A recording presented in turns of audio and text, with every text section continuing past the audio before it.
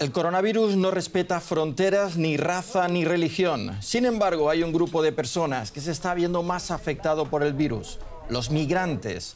Estos tienen mucha mayor probabilidad de contagiarse y de morir.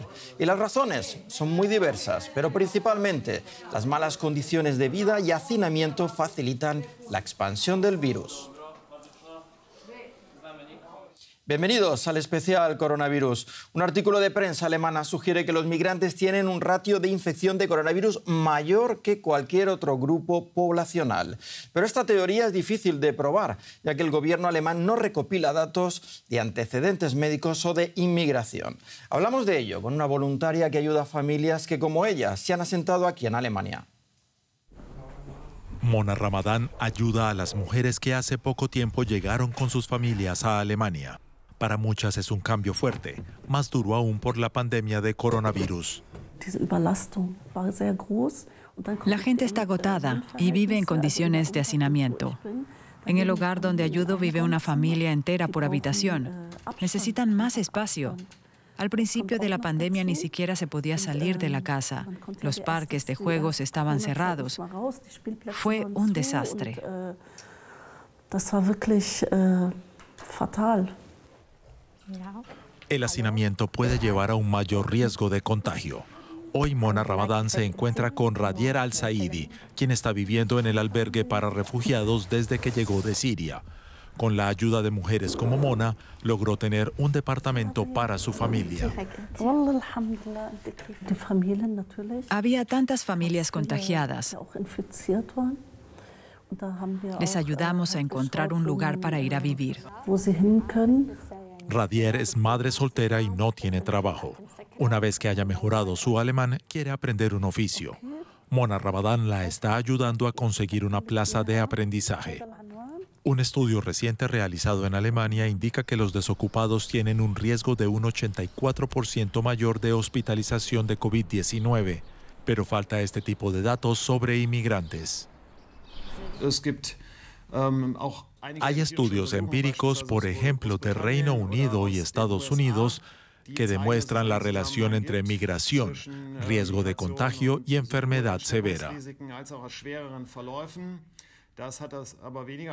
Esto no tiene que ver directamente con ser inmigrante, sino con el tipo de trabajo de alto riesgo que los inmigrantes terminan haciendo. Trabajos como repartidor o peluquero que exponen más a los migrantes al riesgo de infección. Pero en Alemania no hay datos que asocien la salud al estatus socioeconómico. Esto es extremadamente importante, porque así se podría identificar los grupos más expuestos. Si comprendemos por qué, se puede reducir el riesgo. Este tipo de información podría mejorar el apoyo a los migrantes en Alemania, pero por ahora la mayor ayuda que reciben es de mujeres como Mona Ramadán. La ONG Amnistía Internacional presentó su informe anual.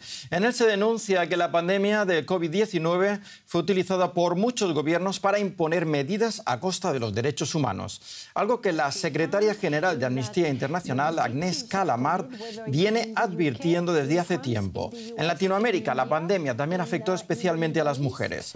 El confinamiento aumentó la violencia de género doméstica. Además, empeoró la precaria situación de los migrantes. Con el cierre de las fronteras, muchos quedaron en el limbo varados en condiciones indignas. Sin ir muy lejos, la situación de la frontera mexicana con Estados Unidos es cada vez más preocupante. Lo vimos, la pandemia ha paralizado a muchos países y confinado a millones de personas en todo el mundo, pero las guerras y conflictos continúan y los desplazados también. Para saber más de la situación de estas personas, conectamos con Olga Sarrado de ACNUR, el organismo de las Naciones Unidas encargado de proteger a los refugiados. Saludos, Olga. La primera pregunta es cómo se están viendo afectados los desplazados en estos tiempos de pandemia. Hola, eh, bueno, pues eh, las restricciones de movimiento eh, han, dificultado las posibilidades de los refugiados de, cruzar una frontera y de, solicitar la protección internacional que necesitan. Pero además de eso, hay que tener en cuenta que muchos de, los refugiados e inmigrantes en las Américas dependían para vivir de un empleo informal. Y ese empleo informal ha sido uno de los más afectados durante la pandemia. Calculamos que el, 8 el 80% habrán perdido su empleo durante esta pandemia, lo que les ha dejado sin ingresos. Eh, el 80 o el 85% nos comentan que están ahora mismo consumiendo menos de dos, de dos, comidas al día y muchos de ellos han perdido sus hogares. Algunos han sido desalojados y, y, algunos se han quedado también en situación de calle. Hay que tener en cuenta que más o menos entre un 30-40% de los refugiados inmigrantes en las Américas, eh, sobre todo en la situación eh, de Venezuela, estarían en situación irregular. Eso que implica además dificultades de acceder a servicios básicos tan importantes durante la pandemia como son, por ejemplo, los sistemas de salud. Hemos visto que es difícil recolectar datos sobre el ratio de infección entre migrantes, pero organizaciones y estudios muestran que la tasa de contagios y de muertes es mucho mayor entre este grupo. ¿Estáis de acuerdo y a qué se debe? Bueno, como bien comentas, es muy difícil. Eh, nosotros no, no, tenemos datos porque la mayoría de los datos sobre infecciones y sobre, y sobre muertes no diferencian por nacionalidad. Entonces es difícil eh, saber si han sido o, más afectados o menos afectados que el resto de la población. Lo que sí que es cierto es que la, las poblaciones desplazadas forzosamente normalmente se encuentran en una situación de mayor vulnerabilidad. Y, por ejemplo, el simple hecho de no tener un lugar en el que vivir, de vivir en condiciones de hacinamiento, de vivir en situaciones de calle los expone más al contagio eh, del coronavirus en este caso. En estos momentos de pandemia y movilidad reducida al mínimo, ¿qué posibilidades tienen los refugiados de solicitar asilo en otros países? Bueno, las restricciones de movimiento eh, obviamente han afectado a las solicitudes de asilo, pero muchos países han hecho eh, grandes esfuerzos en continuar aceptando eh, solicitudes de asilo de manera remota. Desde ACNUR hemos apoyado también a la digitalización de expedientes para que se puedan continuar procesando esas, esas solicitudes de asilo. Y además, pues también se ha hecho un esfuerzo en, en ampliar eh, la, ayuda y el apoyo a las personas refugiadas e inmigrantes en los lugares en los que se encuentran y poder eh, permitirles vivir en seguridad y de forma digna hasta que, puedan eh, cruzar la frontera. Olga, ¿qué estáis haciendo en ACNUR para ayudar a los desplazados en estos momentos de pandemia?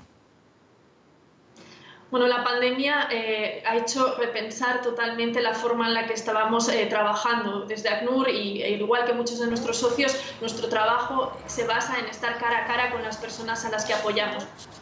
Esto ha tenido que cambiar durante la pandemia. Como comentaba, hemos apoyado a, los países eh, a, procesar los expedientes de las solicitudes de la condición de refugiado de manera remota. Hemos eh, pasado a hacer el registro y a recopilar los datos necesarios eh, de las personas refugiadas también de manera remota, pero uno de los apoyos más importantes, por ejemplo, ha sido el apoyo a las autoridades para ampliar los hospitales, ampliar la capacidad en los centros de salud, ampliar la capacidad de, los, de, las posibilidades de de, aislamiento para refugiados inmigrantes, pero también para las poblaciones de acogida. También hemos duplicado, por ejemplo, nuestra ayuda en efectivo. ¿no? Era muy difícil salir y entregar eh, productos necesarios y básicos a las personas refugiadas y migrantes. Entonces, a través eh, de esta ayuda en efectivo se ha podido eh, cubrir las necesidades básicas de muchos de estos refugiados y migrantes, muchas de estas familias que se han quedado sin ningún tipo de ingreso. Y también ha sido clave el trabajo de comunicación. Hemos trabajado muy de cerca con las comunidades, con voluntarios para transmitir información sobre cómo prevenir la transmisión del coronavirus. Olga Sarrado de ACNUR, muchas gracias por atendernos desde Panamá. Un saludo. Los indeseados de Centroamérica, así les llaman a quienes deciden abandonar sus países como en El Salvador, Honduras o Guatemala. Una nueva estadística del Programa Mundial de Alimentos de la ONU nos recuerda las razones de este éxodo obligado.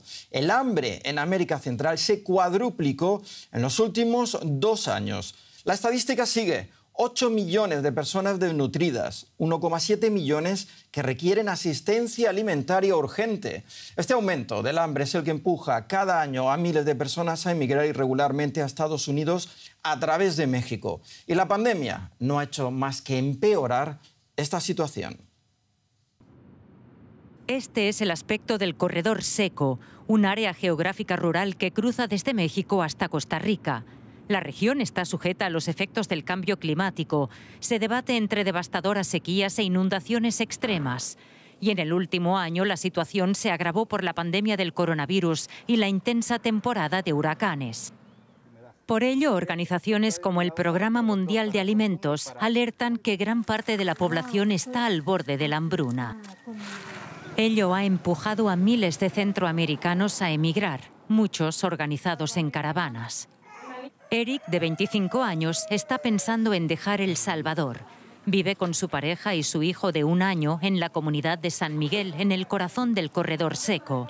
Tiene un trabajo de temporada en el campo. Teme que sin oportunidades de prosperar, su hijo acabe siendo víctima de la criminalidad. Ahora en este país, tanto como si no se meten en pandilla, andar asaltando, andar haciendo daño en todas. Entonces, eso es lo que a mí a veces me digo yo, eso es lo que no quisiera que mi hijo estuviera haciendo. Los agrónomos del Programa Mundial de Alimentos, el PMA, enseñan a los agricultores locales a adaptarse a los efectos del cambio climático utilizando nuevas técnicas y cultivos que dependen menos del agua. Ya no cultivan maíz ni frijoles, sino patatas o zanahorias. El director del PMA dice que la gente no quiere abandonar sus hogares, que se les fuerza a ello e insiste en que lo que necesitan es ayuda urgente con la alimentación. A Estados Unidos le cuesta 4.000 dólares por persona y semana ayudar a los migrantes en la frontera. Mientras que con el proyecto del Programa Mundial de Alimentos cuesta un dólar por persona y semana ayudar a la población en América Central. Los participantes dicen que no hubieran tenido más remedio que emigrar si no hubiera sido por este proyecto. Pues hasta aquí nuestro especial sobre la COVID-19. Pueden seguir conectados a todo lo relativo a esta pandemia en nuestra página web y redes sociales. Muchas gracias por su confianza. Cuídense mucho y hasta pronto.